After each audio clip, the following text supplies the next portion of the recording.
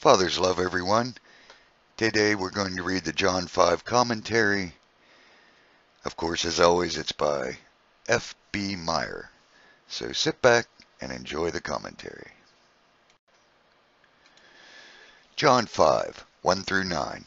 Weakness made strength. An interval of some months lies between the previous chapter and this in which many of the incidents of our Lord's Galilean life took place.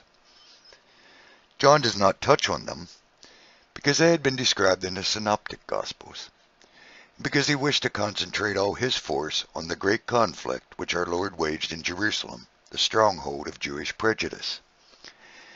He also chose the incidents which led to our Lord's discourses and served as the text of his words. The pool of Bethesda had medicinal properties.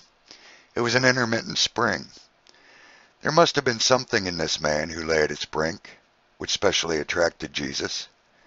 He saw that he had faith to be healed, and therefore made a direct challenge to the will of the sufferer.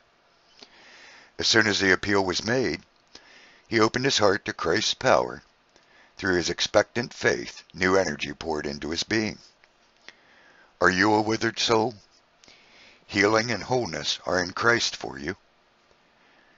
Receive from him the power that waits to flow through your wasted muscles. Believe that it is passing through you and act accordingly. Spring to your feet, roll up your bed, and carry that which has long carried you.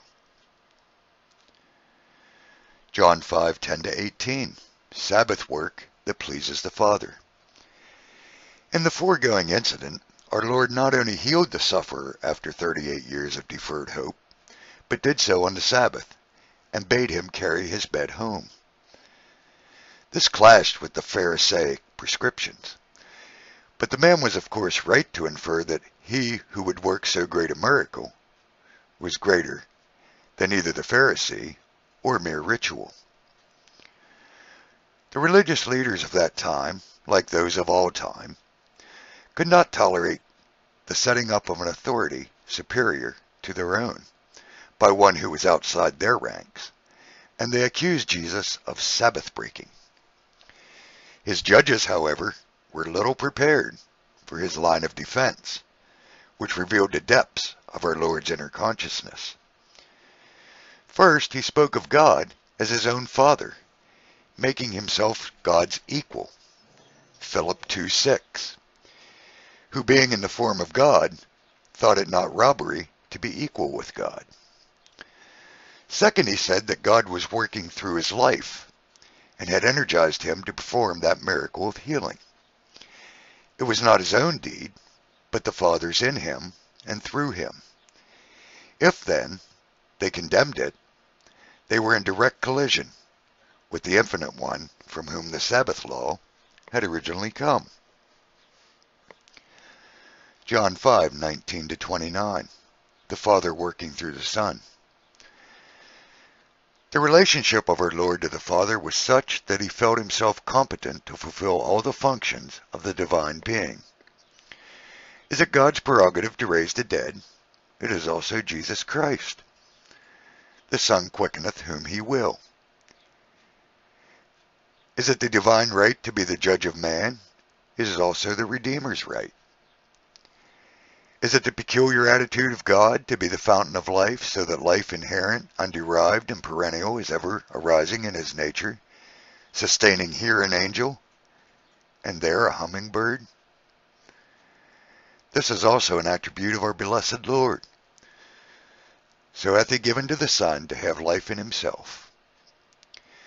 The entire sum of the attributes of deity are resonant in the nature of the Son of Man. But though all divine attributes were his, and might have been called into operation, he forbore to use them, that he might learn the life of dependence and faith, the life which was to become ours towards himself. He did nothing apart from the Father. John 5:19. Then Jesus answered and said to them, Verily, verily, I say unto you, the Son cannot do anything of himself, but what he seeth the Father doing, for what things soever he doeth, these the Son doeth in like manner. No vine ever clung more closely to its trellis, no child to its mother, than he to the father. Galatians 2.20 And I live now not I, but Christ liveth in me. That I live now in the flesh, I live in the flesh of the Son of God, who loved and who loved me and delivered me. Hebrews 12:2. Looking on Jesus, the author and finisher of faith, who having joy set before him, endured the cross, despising the shame, and now sitteth on the right hand of the throne of God. John 5:30 to 38. Jesus works is sufficient witness. The one desire and purpose of our Lord was to do God's will. We cannot penetrate the mystery of his ineffable being, but clearly, so far as his human nature was concerned, he had a will which could be denied and subordinated to the Father's. John 5:30 I can of myself do anything. As I hear, so I judge, and my judgment is just, because I seek not my own will, but the will of him that sent me. John 6:38 Because I came down from heaven, not to do my own will, but the will of him that sent me. Luke 22:42 Saying, Father, if thou wilt, remove this chalice from me. But yet not my will, but thine be done. It meant shame, a breaking heart, a soul exceeding sorrowful, the cry of the forsaken, but he never swerved. He clung to it as to a handrail down the steep, dark staircase that led to Calvary. Let us live according to God's will. It feeds the spirit. It clears the judgment it gives rest and tranquility to the heart. It is the key of certain and assured knowledge. It introduces us into a great circle of others who in the past and present, in heaven and on earth, are living with the same purpose. Our Lord cites as allies John the Baptist, the Scriptures, and Moses. Choose this life policy. There's no other way. Remember that God's will is goodwill, and that his love is endless and changeless. John 5:39 to 47. Willful rejection of truth condemned.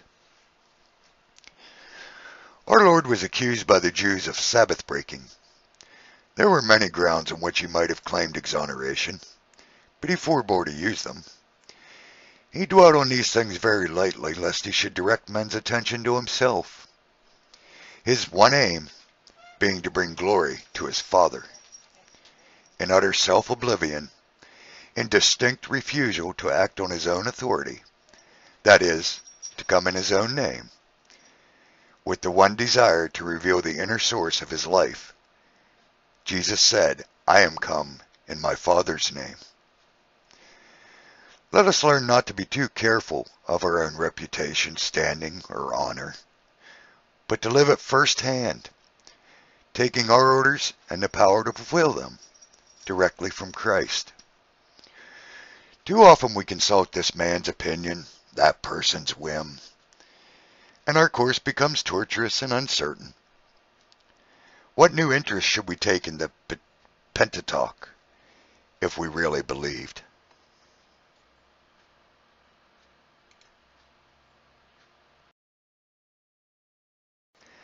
I hope that truly blesses each and every one of you who listen to it.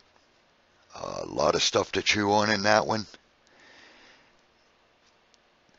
Remember, always seek first our Father's face, realizing we can do nothing without the Holy Spirit, and always trying to follow in Jesus' footsteps and obey his commandments. Continue to pray for the children and the weaker among us. Continue to shine that light into this ever darkening world. Never listen to any man. Always listen to the will of our Father which can be seen in the life of his son. Thank you. Have a blessed day.